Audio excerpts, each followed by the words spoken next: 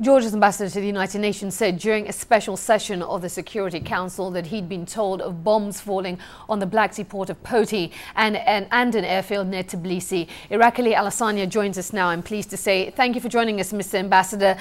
Uh, Good to be Two meetings held at the UN within 12 hours of each other. Has consensus been reached on a statement?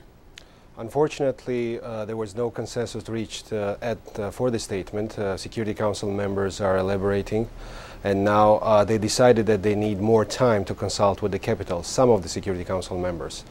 The thing is that the situation in uh, South Ossetia has been rolling towards the deterioration for past month, and the Russians were planting carefully calculated provocations to get the things to the armed confrontation to justify their military invasion. And this is what's happening right now in Georgia. I want to inform you, if you don't know, that just an hour and a half ago, Port Poti uh, and other installations in Georgia, Senaki Air Base, uh, were bombed by the uh, Russian strategic bombers. This is, crosses all the red lines, and uh, we are victims of the aggression from the Russian side, and we think the Security Council has to assess adequately this situation. Well, Russia's Foreign Minister Sergei Lavrov has accused Georgia of committing atrocities against ethnic Ossetians who inhabit the territory. What's the truth in that?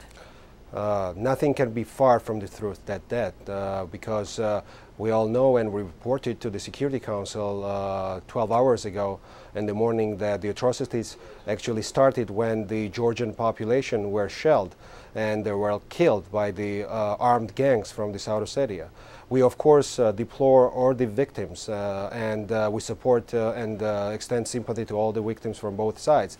But what we are having here as a um, reason of what Russian aggression is about that they want to subdue Georgia, they want to revert Georgian uh, aspirations to the Euro-Atlantic community, and they want to give an example for others in the post-Soviet state that this is what's going to happen if you're going to be independent and if you're going to go through the path that the Georgia chose. So we will defend our freedom. This is uh, what it takes. There are conflicting reports emerging about what is happening right now on the ground there in South Ossetia. Some media um, outlets are reporting that Georgian troops are actually on the retreat. Some are saying that you have actually taken control of the capital. What can you tell us about the very latest? The latest information that I have is the Georgians are holding the positions. Russians are heavily shelling and bombing our positions, but this is still on our hold.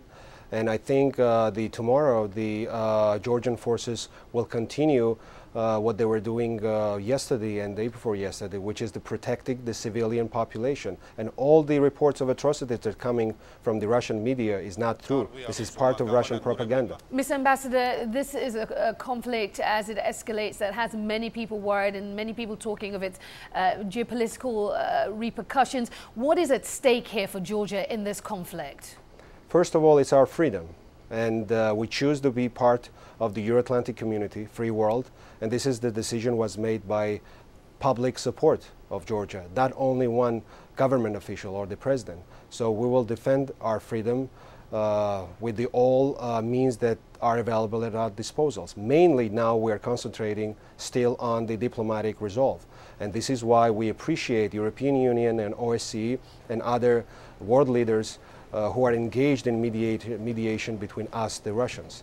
But still, what is very worrisome that even now as we speak, Georgia, Georgian villages, Georgian cities are indiscriminately shelled and bombed and civilian population are dying. South Ossetia's position in relation to Georgia has long been disputed. The, the war was waged in the 1990s and there was almost, the situation was almost frozen, so to speak. What now? What now that is, it has escalated to this point? How do you secure long-term peace between Georgia and South Ossetia going forward?